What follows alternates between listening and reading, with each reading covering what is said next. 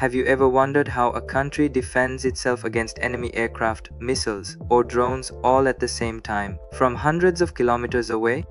Today on our channel, we'll break down the working of a modern long-range air defense system. Inspired by the famous S-400 explained in a simple visual way, without any technical confusion or sensitive data. Let's get started.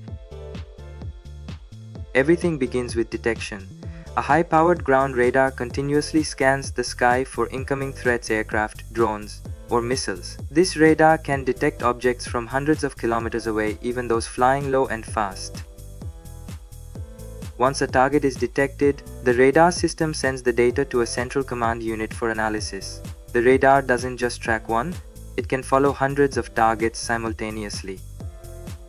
Now detection is just the first step. The real decision making happens inside the command vehicle. This unit receives real-time data from radar and quickly decides what kind of threat it is, how dangerous it could be, and what kind of missile should be launched, all within seconds. Once a decision is made, launch commands are sent to the missile-carrying trucks, which are positioned strategically around the area. These trucks are equipped with multiple missile types, each designed for a different target range, short, medium, or long. That means the system can handle threats from 40 km to 600 km. When it's time to fire, the missile is ejected vertically using gas pressure, a technique known as cold launch, before the main engine ignites. During flight, the missile follows a guided path. It's initially controlled by commands from the radar and command unit. As it nears the target, it switches to its onboard radar for final guidance locking in and aiming for a direct hit.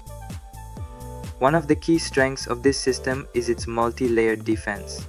That means it can destroy targets at different altitudes and distances, from close-in drones to long-range bombers. This overlapping missile coverage makes it extremely difficult for enemies to bypass the system even if they send multiple threats at once.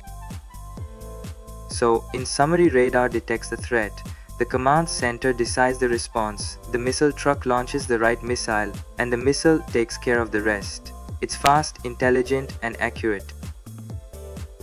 If you found this explanation helpful, make sure to like this video and subscribe to Tech Explorer 31 for more 3D breakdowns of real-world technologies.